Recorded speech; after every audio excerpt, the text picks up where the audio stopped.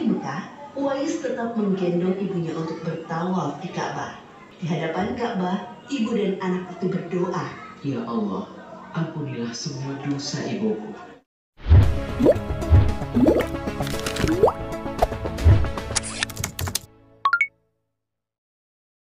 Bismillahirrahmanirrahim. Assalamualaikum warahmatullahi wabarakatuh. Baik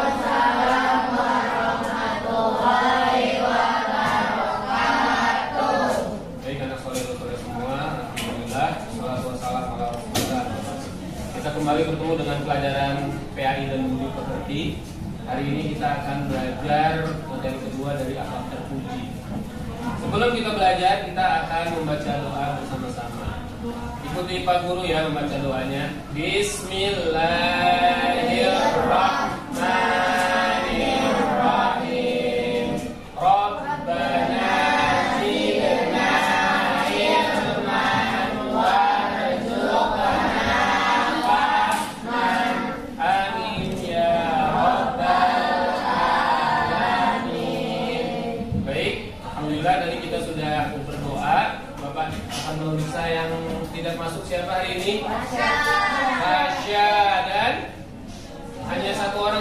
Masuk. Selebihnya yang akhwat masuk semua.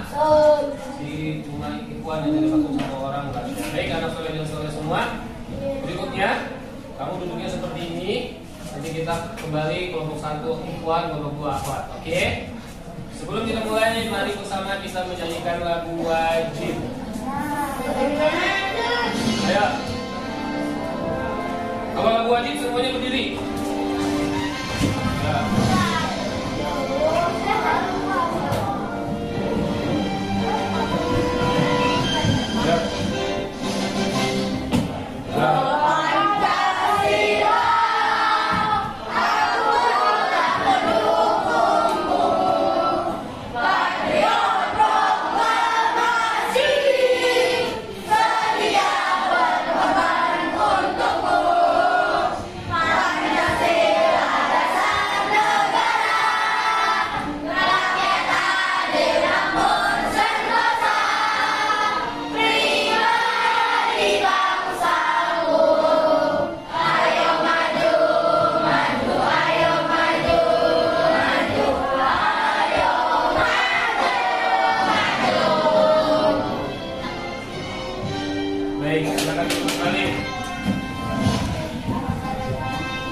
Baik, kita sudah menyanyikan lagu wajib.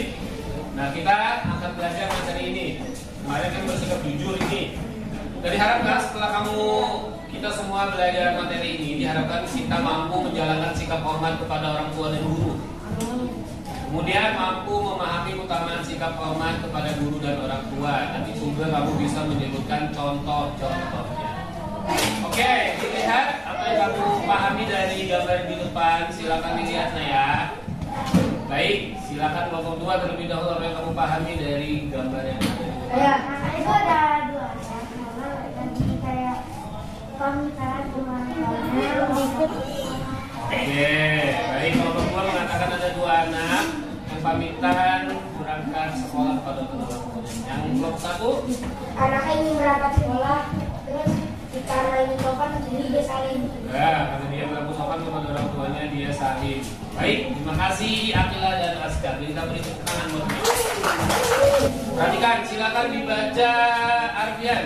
Manusia tidak dapat hidup sendirian. Dia membutuhkan bantuan orang lain dalam kehidupannya.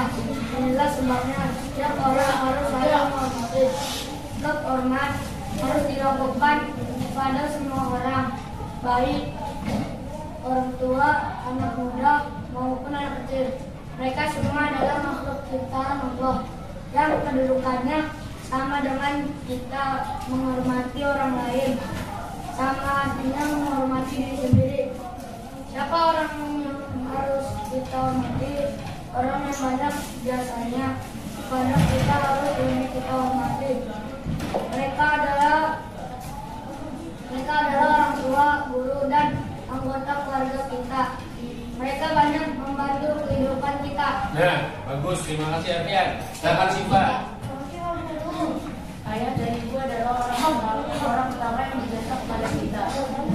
Ibu hidup kita selama 9 bulan lebih dengan penuh kepayahan. Setelah lahir, ibu merawat dan mengasuh kita dengan tiada pernah bosan.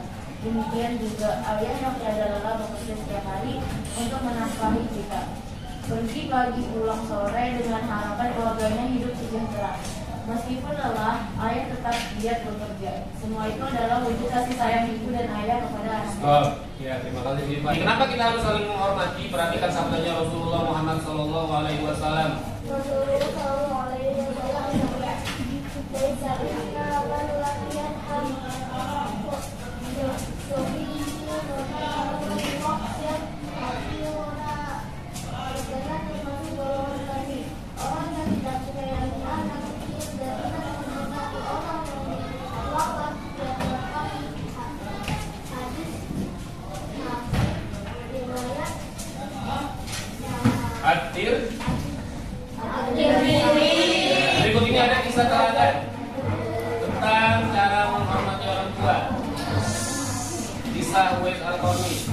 Sesampai di Mekah, Uwais tetap membiarkan ibunya untuk bertawaf di Ka'bah.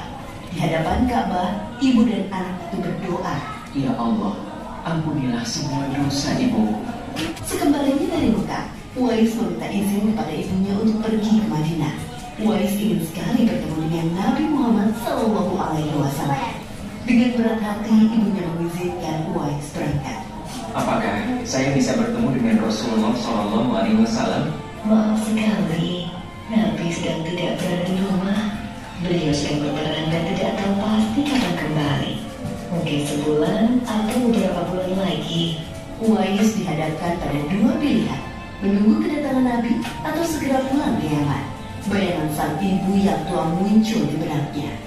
Baiklah kalau begitu, saya pamit. Ada seorang ibu yang tidak bisa saya tinggal lama-lama di rumah. Sampaikan salam saya kepada Rasulullah Shallallahu Alaihi Wasallam jika beliau sudah kembali dari perang. Terima kasih. Aisyah radhiyallahu anha menceritakan perilaku pemuda yang mencari beliau. Nabi mengatakan bahwa Uwais adalah pemuda yang sangat taat kepada ibunya. Karena ketaatan kepada ibunya itu, nama Uwais sangat terkenal di kalangan penduduk langit. Saat Nabi Muhammad Shallallahu Alaihi Wasallam berbincang-bincang dengan Umar bin Khattab dan Ali bin Abi Thalib, beliau menceritakan tentang sosok Uwais. Apabila kalian bertemu dengan Uwais, mintalah doa dan istighfar kepadanya. Dia adalah penghuni langit. Perhatikan di telapak tangannya ada tanda berwarna putih. Dulu sejak lahir ia menderita penyakit sampah. Namun atas kesalehan dan ketaatan kepada ibunya, Allah Subhanahu wa taala menyembuhkan penyakitnya. Sampai pada akhir kematian Uwais, terjadi hal yang menggemparkan. Banyak sekali orang yang hadir mengurus pemakamannya. Orang-orang itu adalah penduduk langit yang dikirim oleh Allah Subhanahu wa taala. Subhanallah, Maha suci Allah, sungguh mulia sosok Uwais ini. Demikianlah kisah Uwais Al-Karni, pemuda yang namanya terkenal di langit. Itu ya, kita harus selalu hormat sama orang tua walau bagaimanapun keadaan orang tua kita. Selama mereka tidak menyuruh kita berbuat jahat, berbuat maksiat, kita harus menghormatinya. Baik? Baik, ini kesimpulannya ayah bunda adalah orang yang paling berjasa bagi kita. Sehingga kita harus hormat. Bapak ibu guru adalah orang yang orang tua kita di sekolah.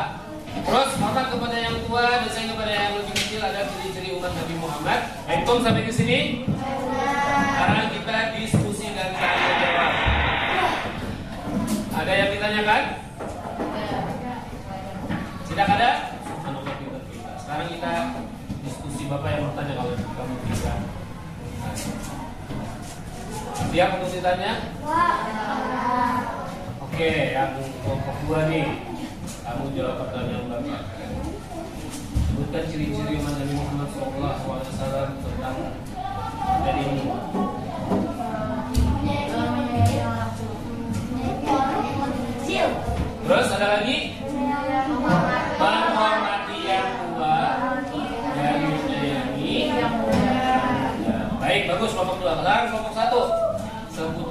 siapa saja yang harus kita hormati. Silakan. Yang berhubungan dengan ma- manusia siapa saja yang kita hormati? Oke, satu-satu coba. Eh, Evan, satu-satu Evan. Satu, yang pertama siapa kita hormati Evan? Orang yang lebih tua siapa saja? Yang pertama yang harus kita hormati satu orang tua. Yang kedua siapa lagi?